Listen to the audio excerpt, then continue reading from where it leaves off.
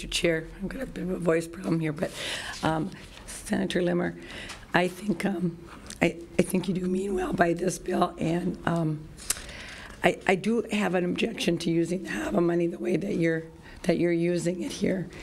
And for people that don't know this, we have, and I might not be able to say it, but we have several safeguards in our law already um, and in our system in Minnesota, many more safeguards than most states have.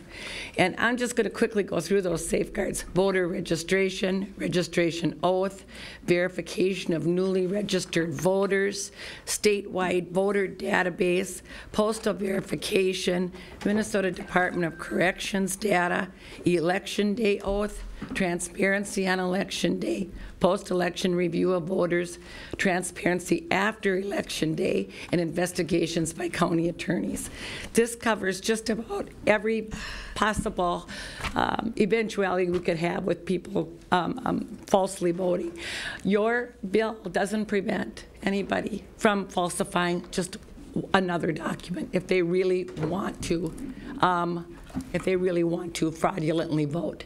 They can still fraudulently vote. They can still get a birth certificate. Um, Even our election judge said she got a birth certificate and didn't need much of anything to get that. It isn't going to make it, there's, a- it- no matter what kind of a system you put together, there's going to be ways to get around it.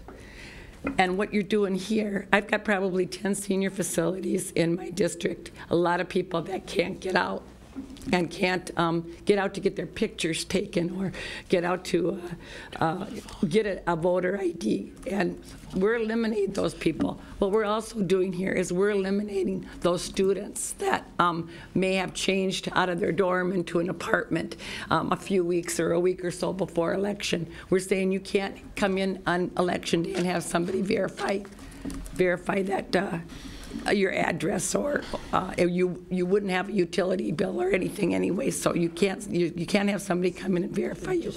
We're restricting it no matter how you look at it. We are restricting voting. And if somebody moves close to the election, they have to get another card. It's just ongoing. If somebody um, uh, We have a 30% turnover rate in um, one of our schools because we have low-income housing there, and people have to move constantly to keep trying to find housing they can afford. Those people would have to constantly keep getting new voter um, uh, identification cards. That is an imposition. It's, it's making it more difficult when I think we already have plenty of ways of verifying our voting. And, and North Dakota, by the way, folks, doesn't even have voter registration. They don't even have voter registration at all. We have voter registration, and we have all these other safeguards. So I think we're very well protected in the state.